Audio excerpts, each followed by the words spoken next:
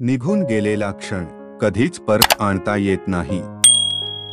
मोहाचा पहिला क्षण ही पापाची पहिली पायरी असते. मूर्ख माणसे आपापसात संभाषण करू लागली की शहाण्या माणसाने मौन धारण करणे योग्य.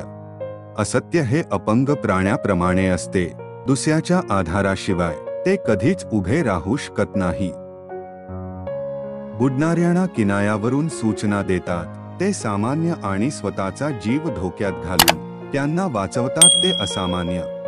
ठाम राहायला शिकावं.